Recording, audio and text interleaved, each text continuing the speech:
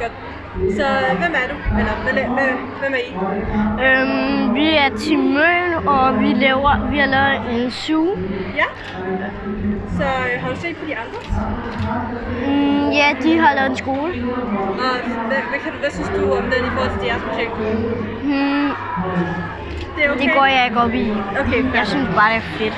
Så hvad handler det her projekt om? Om noget programmering til Redo og Okay.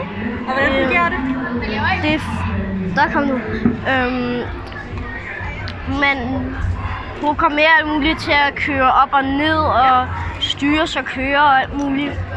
Det her, det er papegøjerne, og så er der en panda her, og børnesug her, og manko. Okay. Og så er der en, øhm, et sted, en café, hvor man kan få noget øhm, at spise. Ej, hvor fint. Ja. Har du har I Ja. været her før? Hvad? Nej. Så hvad glæder jeg mest til i dag? Mm, at få vores øhm, medalje. Okay, det er super. Tak for det.